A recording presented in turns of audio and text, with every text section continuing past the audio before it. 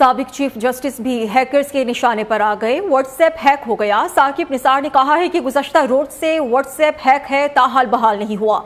खदशा ज़ाहिर किया जा रहा है कि मेरे मोबाइल डेटा को तोड़ मरोड़ कर किसी खास मकसद के लिए इस्तेमाल किया जा सकता है।